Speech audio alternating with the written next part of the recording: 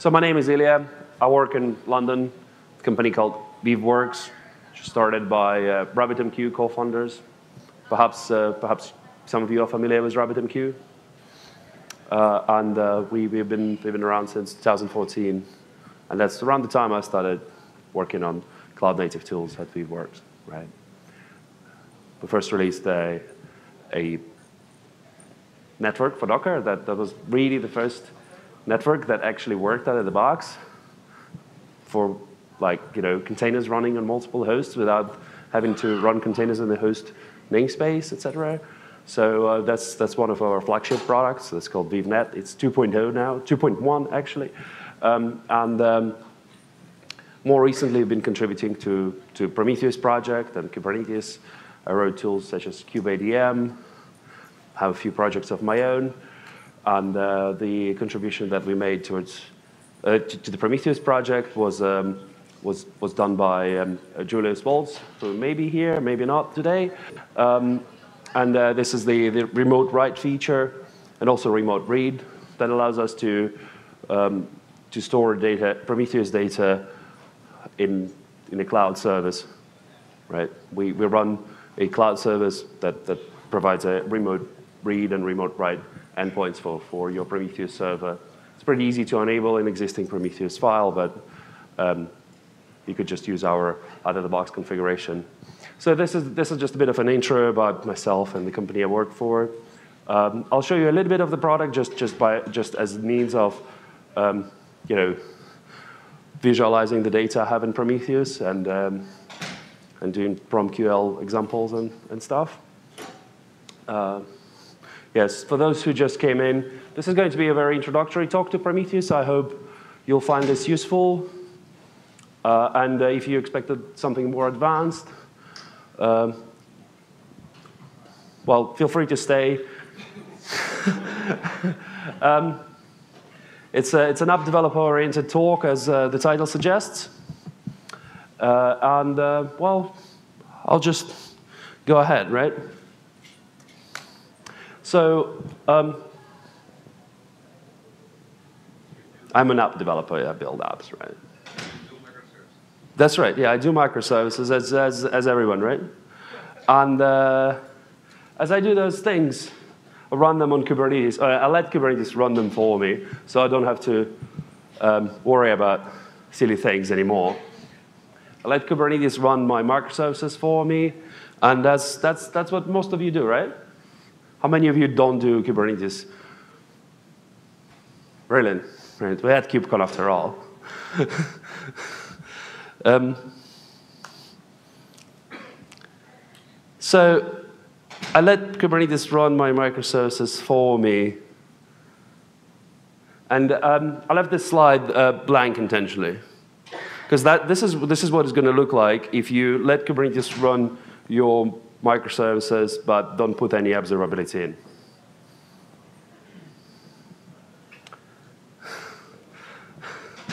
yeah, you can guess.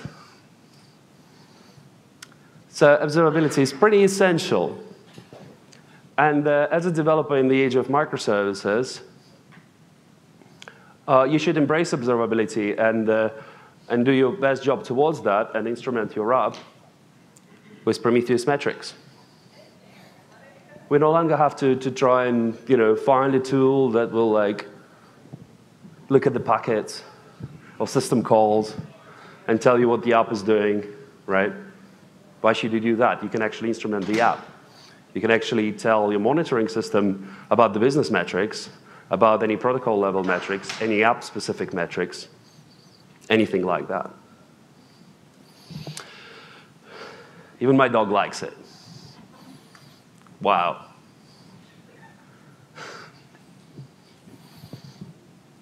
yeah, so dog. And the skeptical cat is thinking, oh, why should I instrument my app? Do I really have to do that? Well, perhaps a good question to ask, right? Why? Well, um, I think uh, this, this is mostly to do with uh, microservices being a culture and not to be mistaken with architecture, right? Um, culture, not an architecture. you build your app, you run it, team takes responsibility to run the app that they ship. Ops team run infrastructure, developers run their apps. So they can actually put the work in to make it more observable. They can put those Prometheus metrics in just, just to, to make it easier for themselves to run the app, to have decent monitoring in place. If team has taken on call responsibility, they better do that, right? Because because otherwise, what, they're going to second guess what's going on? Or, you know, it's them who are running the app now. I think that's kind of one of the, the big culture changes with Prometheus. microservices, sorry. Um, it's a big culture change with, with microservices. And Prometheus is um, a, an observability tool that is built for microservices in the day and age of con container orchestration. It has native support for Kubernetes and uh, other orchestrators. And it also has support for legacy type systems where you can just uh, write static config file or anything like that. And you can also instrument legacy systems in their entirety through an exporter, right? So you have like a set of databases over there or mainframe system. You can write an exporter for that mainframe system and put that into Prometheus. But it works pretty well and doesn't require any fancy exporters if, if you're doing microservices and you use Kubernetes and service discovery and such things. And uh, the important aspect of Prometheus is that it's a, it's a pull-based system. So um, you don't have to configure your app and tell it like, hey, your monitoring thing is over there.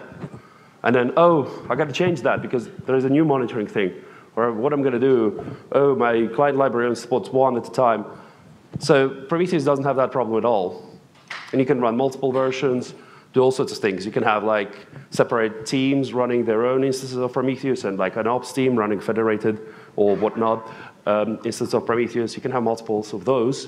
And it has pretty efficient memory usage and uh, and disk storage and remote storage, which, which uh, we're going to showcase today, and, uh, and all sorts of things like that that allow you, that leave you so much flexibility to how you can run Prometheus. So these are some, some of the key aspects why, why you might want to care about Prometheus.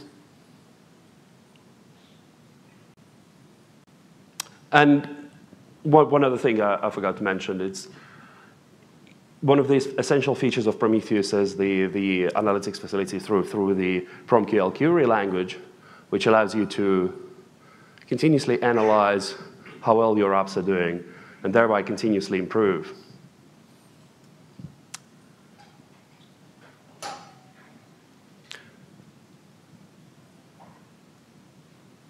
So how do I instrument my app for Prometheus? It's actually very simple. You just need to implement this metrics endpoint, which uses content type text plain. So nothing really complicated. Oops. Oh. Okay. Metrics endpoint, plain text, easy, right? Can do that in C, perhaps? I wouldn't. Um, and uh, you, you need to write a string value where, uh, like key value pair per line, name of a metric, and a floating point value. And here's one example. Metric new users count, value 250. You could add labels in curly braces like that. And uh, here's an example of this um, new users count metric broken down to more specific values where we use locale as, as a label.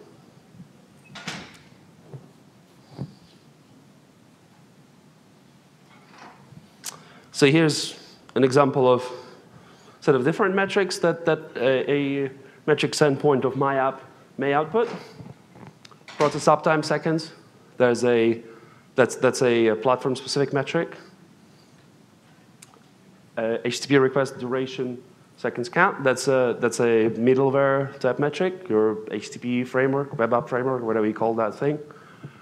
And uh, new users count, that's the sort of business metric. So you can put all of those in. This is a very simplified version. You'd probably have labels all over the place in a like as we will see an example later on. And uh, here's a, a, more specific case of an HTTP um, middleware metric where, where we have get type requests and put type requests and error codes associated with those. And uh, yeah, this particular app has only seen one of each of those. You can find out more about a few more advanced metric types, such as histograms, summaries, and such things on the Prometheus website in the documentation. These things are called metric types, and they're kind of like, there are, there are quite a few more advanced topics there. So how do I use Prometheus to improve my app? As I mentioned, there's this PromQL language, which allows you to query the, the metric data you stored over time, and uh, you can do some pretty advanced queries. I'm still learning myself, so bear with me here. So here's a very simple one. You just say a metric name, and you get all the, all the things there are for process uptime seconds. Easy? OK. Well, that may be not quite useful. You actually want to look at a specific job. And uh, here, here I would be looking at my app. And this will, will give me the, the uptime of all instances of my app.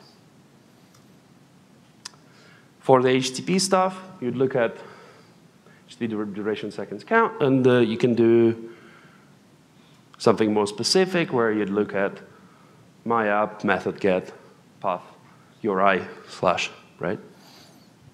And you can sum those up to, to sort of aggregate all over, over all of the instances of that uh, my app thing. And uh, you could do other things such as rates. And we'll look at some of this uh, momentarily in, in the tutorial part. And uh, there's, there's another nice metric to be aware of is the up metric. This is the metric that Prometheus sets internally when uh, it, it finds a, a, given job. So it looks in Kubernetes and it finds a service. And it goes and looks at, that, at all the pods behind that service. And uh, if it manages to scrape from, from all of those, it stores one in the up metric. If it fails to scrape from, from any of those, perhaps they're not instrumented or something like that, it will store a zero. So you could look at whether, whether all of your, so that essentially indicates the health of your app if the app is instrumented. So if you, if you, if you look at my app like this, you, you, you tell whether, whether all of instances of your app are healthy and able to report Prometheus metrics at the very least. And you can do a sum over those. This will give you the number of instances, actually. So we'll, uh, we'll look at some of this in more detail in the tutorial now. How are we doing with time? Plenty of time. Brilliant. OK, so I have a tutorial uh, where, where I'm going to use um, Node.js app. I'm going to run it on Kubernetes, on GKE. I'm going to use Weave Cloud for Prometheus remote storage. And I'm going to use Weave Cloud Notebook for um, querying the data that I have there. And I'm going to use tool called Draft uh, for, for deploying uh, the code that, that as, as I make changes to it. So here's, um, yeah, okay. So I'm going to check out a branch. So I prepared a couple of branches here. I'm not very good at live coding. Oh, yes, thank you. Uh, v1 start. Um, yeah, yeah, you can see this. Try tonight. uh, mirror display. Okay. Da-da-da. Okay, cool. I probably should zoom in. Um, we, that's V0 start. Okay. So, um, so this is what you will see in the README if you go to that repo. Uh, I'll show the link once again afterwards if anybody didn't capture that. So um, I've done all these steps earlier. So we all prepared. I installed Draft. I installed the Weave Cloud add-ons. If I go, go to, to Weave Cloud now, I can see that, for example, if I, if I go to Explore View, I can see that here's my cluster. It's, it's got a bunch of things running, including my Node.js demo over here. And the Weave Cortex agent is a Prometheus server that is scraping for, from here. So, um, um, I mean, I could show you more of this if you want um, towards the end if you have time left. Uh, but we can see that, that Weave Cloud agents are connected to this cluster, so we're good to go. And let's check out the first version of the app. Well, uh, let me tell you about this app first, right? So we're launching a pretty awesome API. I'm sure Hacker News readers will be all over it as soon as we launch it. It's called Stringly. It's pretty amazing. It does one thing and does it well. It reverses strings. Very useful, isn't it? So, okay, let's look at the code first. Um,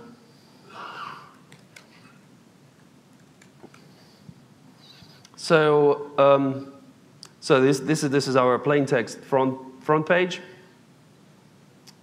And uh, here's our million dollar methods. And um, yeah, it's pretty simple. It's you use a standard library, keeping it super simple, right?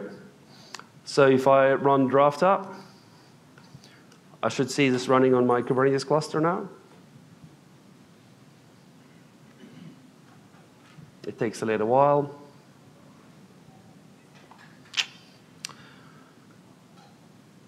I can show you a little bit of Weave Cloud Explore perhaps in the meantime. So um, what can I do here? Oh, this is a previous version of the thing running right now, so that's kind of not so interesting, I guess. Um, I'm going to narrow it down into a default namespace. There's only one thing that I expect to, to leave there, to see, uh, that is expected to be there right now, the Node.js app. Okay, well, ooh, conference Wi-Fi. That's uh, it's always uh, so delightful. Okay, so anyway, the app is ready now. Um, to double check with it. Have external IP here. Ooh, conference Wi-Fi. Didn't pray the demigods. no. Am I still connected? Hmm. Ah, I have to ping? Like, oh, not Kubernetes, Prometheus IO today. Okay, um, interesting.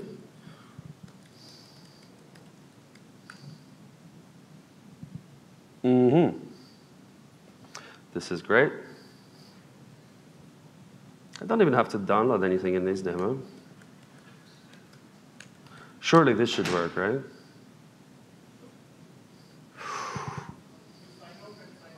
Yeah. Yep, let's do that. Let's do that. All right. Now we shall pray the demigods. I uh, dropped the mic. Yeah, yeah, yeah, yeah. Oh yeah. Um, uh, maybe just a few ping packets. Ah, it's working. okay. Does Prometheus IO work? That's good. Okay, great. So um, um, we were going to say, um, you know, kubectl get service, Node.js demo, get its um, external IP. Yeah, that's been assigned. That's good. We can we can save the external IP as a variable, so we can use that later. Um, so yeah, let, let's let's check out Stringly app, right? Can everybody see the console? Yeah, it's pretty good. Okay, I, I could. Oh, oh no, that's that's pretty big, but maybe one bump. Okay, that that that'd be okay, I guess. Um, so yeah, Stringly app is like this. It tells me um, what I can do. Is this uh, curl? And yeah, it reverses string. That does one thing and does it well. That's great. We love Unix philosophy, right? Um, so um, yeah, I've done that already. So I'm going to run Apache Bench as you do, right? You're going to, like, you find it on Hacker News, you're going to have fun whether these guys can actually stand. If this app still stands after, after you like Apache Bench it for a little while. Run it again. All right, still running well. Um, but like back, back, uh, back, back, back at the um, startup, at the uh, the coffee shop, we we thinking, well, we're gonna have to, you know, make sure that we can withstand the the hockey stick growth, um, and um, we're gonna we're gonna go and uh, do some more benchmarking, uh, and uh, we we figured, as we like to keep things very simple and minimal, uh, we figured we're gonna going to write a little um, load test thing. Well, we're going to use Apache Bench, and we're going to we're going to add this um, hits endpoint, which is um, nothing really clever at all. So we're essentially just going to have a little counter here for anybody who accesses the API, and we're going to render that at slash hits, right? Is going to render that number. So um, if I go run draft up again, it's going to remain in foreground. I need to switch to another shell. And um, if I um, if I do kubectl get pods, I should see, is it the new version?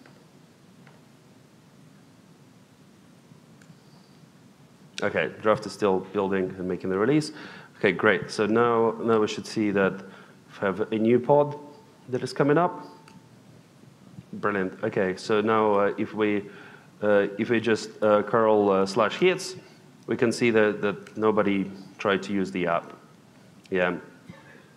So if I if I do, um, no, this is the wrong command.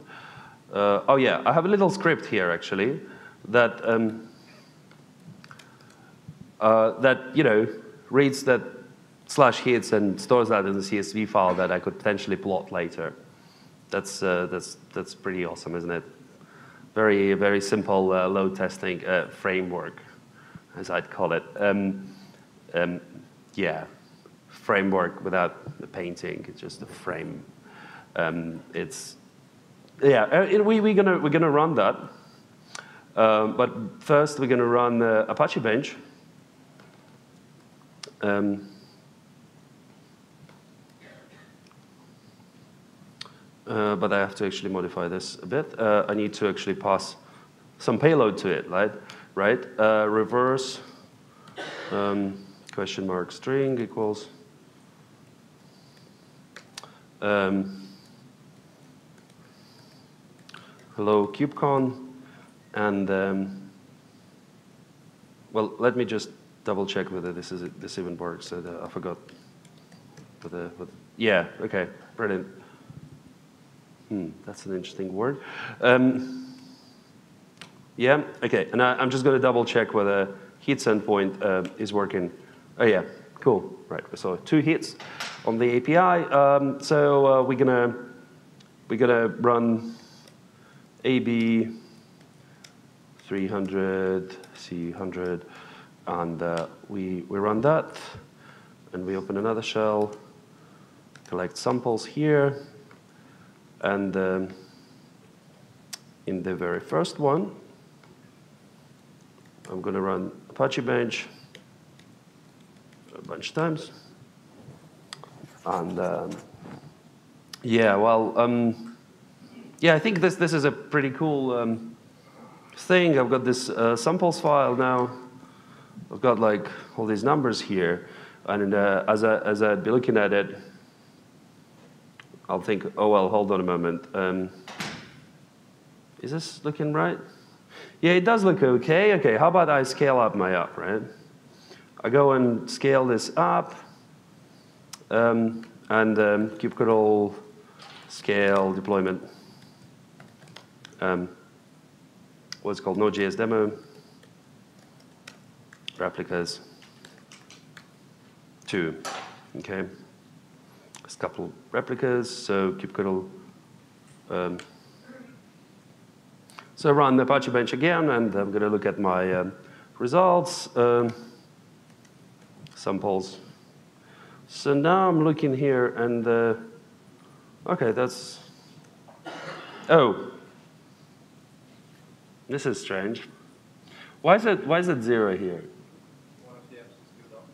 Yeah. So, but like I, I have no idea, right? My um, my CSV file doesn't doesn't let me do much. Um, it doesn't scale, does it? Okay. So I, I go on Google and or I go to a conference and find out like or meetup, a meetup. You know, I'm, I got to launch it tomorrow. I got to do a local meetup, and I hear about Prometheus. It's a thing. So I go, I get home and I, I figure, well, I'm, an, I'm a minimalist type person. I'm gonna I'm going to try and um, read the docs about Prometheus. And um, I, I, write this, this version with really basic Prometheus metrics. And, uh, and what do I do here? Well, actually, this, this is all I kind of need to do to do Prometheus metrics, right? So I changed from just hits to um, HTTP request total. And um, yeah, that's it.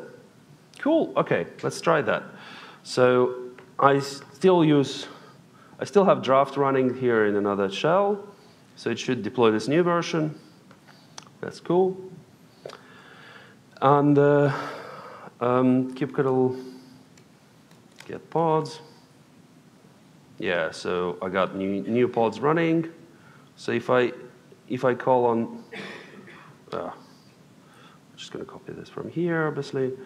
Um, I think I need this. Save the IP address and um, curl um, metrics. Oh, cool. All right. Yeah, that works. Um, so now I could um, run Apache Bench a few more times.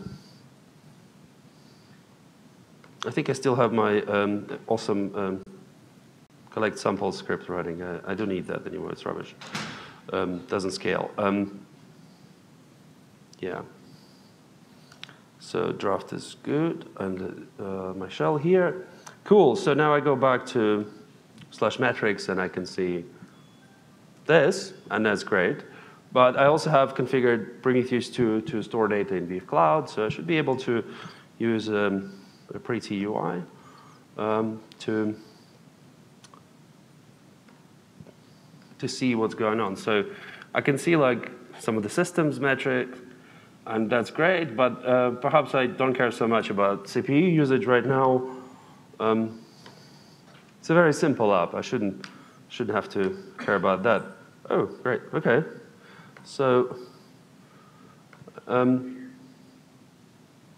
yeah, so if I um, look at it as a, um, oh, that's, um, that's, that's not just my app. I gotta look at the Node.js demo. And uh, so these are two instances of my app. I can see that each of them has in quite a few requests already. I'd rather look at it as a graph. Look, here's, here's the hockey stick growth, right? Brilliant. Um, yeah, well, this is kind of cool, but you know, I also want to make sure that uh, all the users get pretty decent user experience. So whenever they want to reverse the string, uh, any string, they, they will get um, you know, fairly quick response. We'll, we'll, we'll reverse their strings and we'll do that very fast. That's, you know, that's what, what the, um, the guy uh, who wrote the million dollar method promised. So Um, so yeah, okay. Um, well, I thought about it for a while, and I thought, well, actually, you know, there are a few reasons I could actually improve this up a little bit more. And, um, and I, I, I, figured I could use a Prometheus client that integrates uh, with, with, one of Node.js uh, web framework, uh, like app frameworks for, for REST APIs.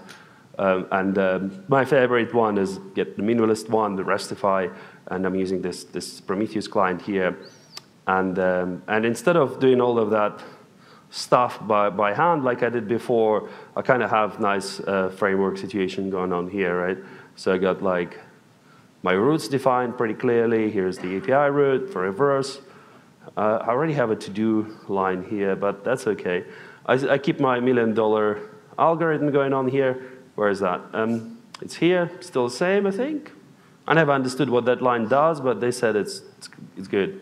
So um, yeah, and I, I, don't have to do the metrics manually anymore. And if Draft is still running on conference Wi-Fi, that looks good. I should be able to um, see the, the metrics that Prometheus client library has given me, and I don't have this IP address. I need to run this again. And um, yeah, so I should be able to, to see all the, the metrics that, woo, a lot. Cool, all right. So um, I'm, I'm, not sure what I'm going to do with all of these. Like, um, I don't really care too much right now. I kind of care about the user experience and the HTTP requests, right? So I'm going to look at some of these things. And uh, I'm going to look for, um, oh yeah, that looks cool. I can, I can actually see what 95% of people are seeing, right? So I can, I can go and check um, how well most of my users um, are served. So if I, if I look at this notebook that I saved earlier, probably need to reload that. And uh, I can see here that, oh, hold on. I, I need to deploy a load test. So I'll, I'll stop abusing conference Wi-Fi with uh, Apache Bench, and I'm going to like deploy, deploy a, a, load test in the cluster, kubectl create, f, have a load test uh, deployment here, which is also instrumented with Prometheus. Um, should shortly see some, some graph going on over here. Yeah, so my, my load test deployment is up. It's also using Apache Bench, but it runs it in the cluster, I don't care. Um, and, um, and yeah, cool. Well, let's, uh, let's look at the, um, the graph. I'll keep this as a table over here. It's kind of useful. And I look at it as a graph over here. So I'm going to do a, an actual sum um, for like, yeah, I'm looking at all the GET requests. And uh, actually, I want to look at um, path um, reverse. So I'm going to add an extra label here, path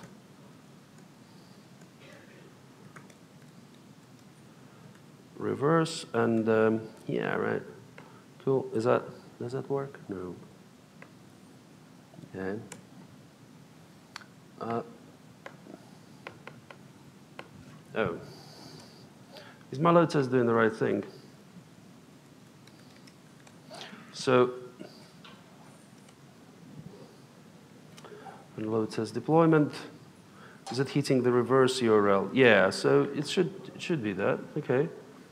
Um, so that's default Node.js demo stable. Hmm. Somewhat odd. Um, I'm just going to remove all of these labels and look at the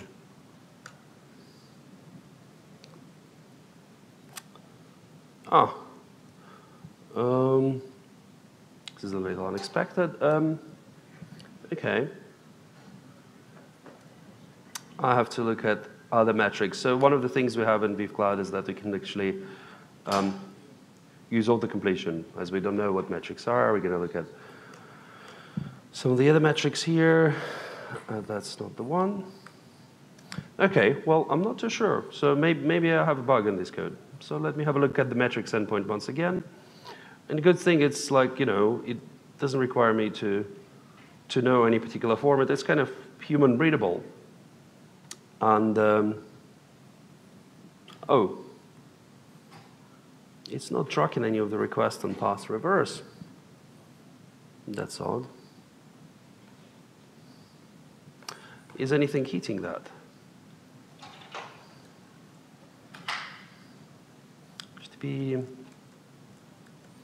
Dollar IP, reverse, string, foo, foo, foo. Okay, good. And if I look at the metrics again, am I seeing the reverse ones or not? Okay. Oh dear, have to debug that. Mm -hmm.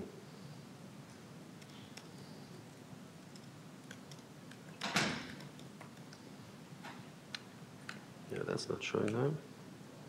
Uh, I'm going to just run Apache Bench once again from here because I'm getting a little confused over there. So I got another Apache Bench. Okay. Another shell.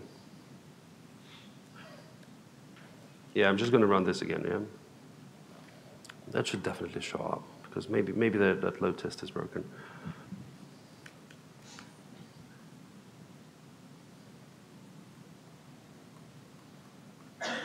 Hmm. Okay. Demogod's not loving me today. I think uh, we're close to, to finish, so um, I'll have to go and fix that take a look at the repo. Sorry about that. Um, um, yeah, well, that happens. It's a demo. As we know. Uh, so a few, um, a few more things. So for those who, who want to take a look at the, the demo code, um, take a photo of the URL at the bottom. Um, I'm errordeveloper on GitHub and Twitter. And uh, you could try Weave Cloud at cloud.weave.works. And um, feel free to, to email me and join our Slack. We also have a booth. Come by and ask any questions. And do we have time for questions now? We have a time. We have little time for, for a few questions, but if if you guys want to go and join happy hour or whatever is going on, feel free to do so. If anybody has questions, I have a mic over here, or just come over and and talk to me if you, if you had it. Thank you so much.